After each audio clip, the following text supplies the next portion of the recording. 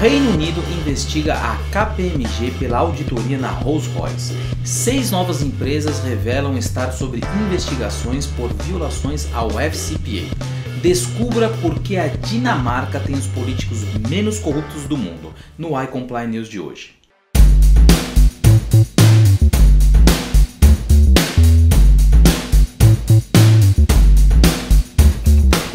Autoridades do Reino Unido informaram estar investigando a KPMG em razão das auditorias realizadas durante os anos na empresa Rolls-Royce.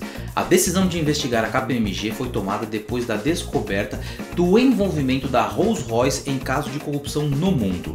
Os investigadores analisarão a auditoria das demonstrações financeiras da Rolls-Royce elaborada pela KPMG entre os anos de 2010 e 2013.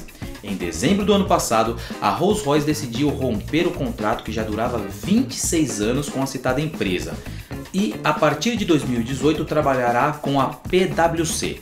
A KPMG disse que irá colaborar com as investigações e reafirmou sua confiança no trabalho realizado, inclusive durante os anos de 2010 e 2013. Seis empresas revelaram recentemente estar sob investigação das autoridades americanas por violações ao FCPA, dentre elas a Go Intelligent Airlines Inc., a BRF SA e a COSAN Limitada. A notícia é do FCPA Tracker, que traz alertas sobre investigações com base no FCPA em tempo real. Desde a criação do Índice de Percepção da Corrupção na década de 90, a Dinamarca é constantemente considerada como o país menos corrupto do mundo. Mas qual seria a explicação? O deputado entrevistado atribuiu o baixo índice de corrupção ao alto grau de educação e transparência da sociedade dinamarquesa. A fórmula, segundo ele, também passa pela proximidade entre os políticos e a população em geral.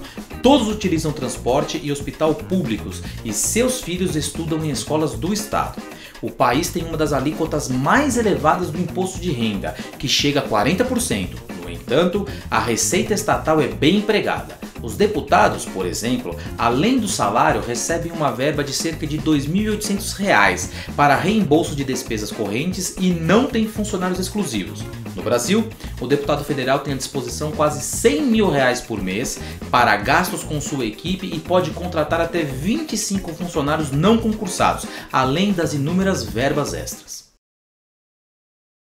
O que achou da KPMG estar sendo investigada pelo Reino Unido em razão de suas auditorias feitas na Rolls-Royce? Conhecia o site do FCPA Tracker? Fique de olho se quiser saber quais as empresas que estão sendo processadas com base no FCPA. Gostou da comparação dos políticos da Dinamarca com os do Brasil? Será que estamos longe daquela realidade? Deixem aí seus comentários, não se esqueçam de curtir esse vídeo e assinar o canal. Se achar que alguma notícia merece destaque ou se quiser ver algum tema tratado com maior profundidade, mande sua sugestão para news.icomply.com.br. Por hoje é só, um abraço e até a próxima edição do iComply News. E lembre-se sempre de realizar a sua autoanálise. Você está em conformidade? iComply Aprimorando pessoas fortalecendo empresas.